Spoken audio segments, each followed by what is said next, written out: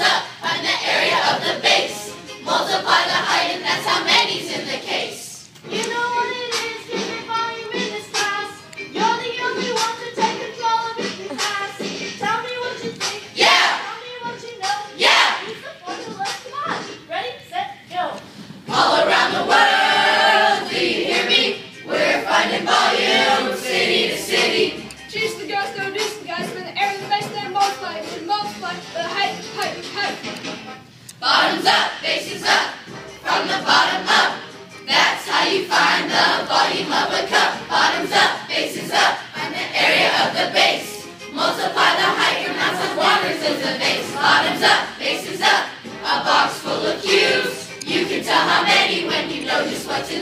Bottoms up, faces up, find the area of the base. Multiply the height, and that's how many's in the case.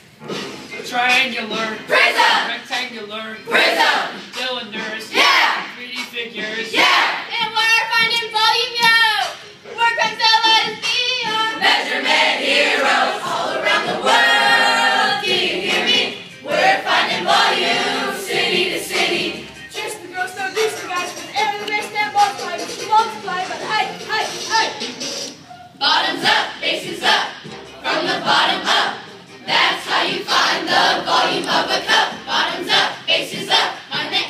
Of the base. Multiply the height, and that's how water fills the vase. Bottoms up, faces up, a box full of cubes. You can tell how many when you know just what to do. Bottoms up, faces up, find the area of the base.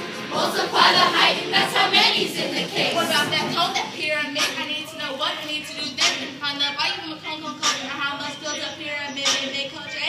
I was like your Coach A. Do you think you could teach me about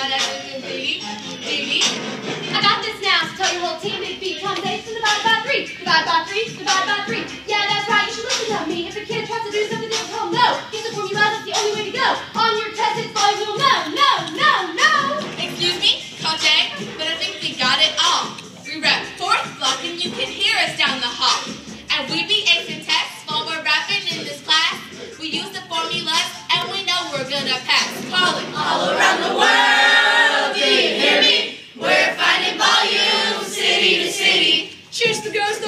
guys from the air to the basement ball club. Be sure to multiply for the height, height, height. Last time.